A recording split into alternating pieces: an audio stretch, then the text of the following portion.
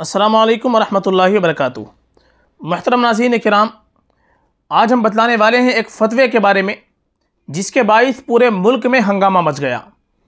فتویٰ کہاں سے ملا ہے؟ وہ مصر کی معروف درسگاہ جامعہ الازہر نے اپنے ایک استاد سے تحقیقات کا فیصلہ کیا ہے، جنہوں نے بجلی، پانی اور گیس کی چوری کے جواز کا فتویٰ جاری کیا تھا۔ مصری میڈیا کے مطابق مذکورہ استاد کا نام ڈاکٹر امام رمضان ہے۔ اور وہ قاہرہ میں جامعہ الازہر کے شعبے دراسات اسلامیہ میں استاد ہیں۔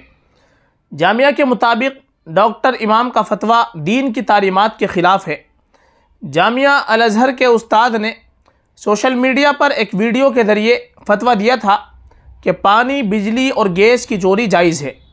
ڈاکٹر امام نے اس موقع پر قرآن کریم کی اس آیت کا حوالہ پیش کیا اور جو لوگ ظلم ہونے کے بعد بدلہ لیں انہیں ملامت نہیں کی جا سکتی۔ یاد رہے کہ ڈاکٹر امام رمضان پانچ سال قبل مصر میں ایک اور تنازع کا سبب بن چکے ہیں۔ اس وقت سوشل میڈیا پر ان کی ایک ویڈیو وائرل ہوئی تھی۔ ویڈیو میں وہ جامعہ اظہر میں لیکچر دیتے ہوئے نظر آ رہے ہیں۔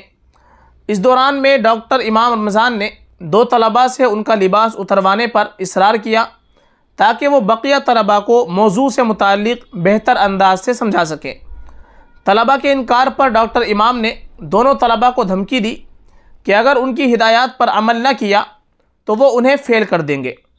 اس واقعے کے بعد جامعہ الازہر کے اس وقت کے سربراہ ڈاکٹر محمد المحر صابی نے ڈاکٹر امام کو کام سے روک دیا تھا اور انہیں پوچھ گچھ کے لیے پیش کیا گیا۔